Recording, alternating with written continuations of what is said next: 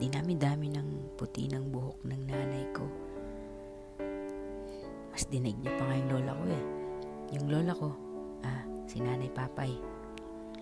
Ngayong araw na to, ano nga bang Mother's Day para sa akin? Siguro, simple lang. Yung maging role model yung nanay ko para sa akin. Yung makita ko na siguro pag tanda ko din, pagtanda din ng nanay ko, pag naging maputi na rin ang buhok ko,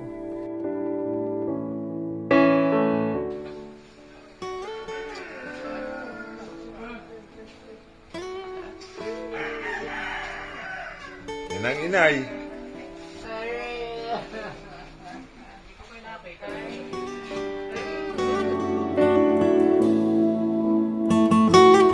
siguro hindi lang ako pati mga kapatid ko magiging ganito rin yung tagpo.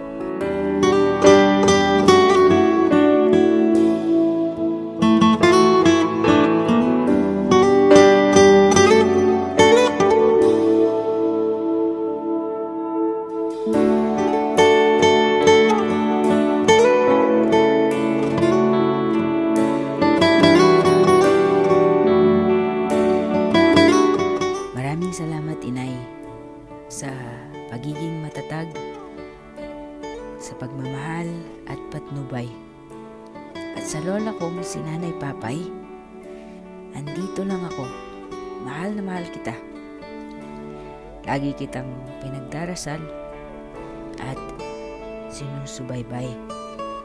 Dasal ko ang lakas, ngiti at ginawa, naway bukas mas malakas at ikaw ay masigla. Araw ng mga ina, kayong dalawa, kayo ang bida. Marami pong salamat.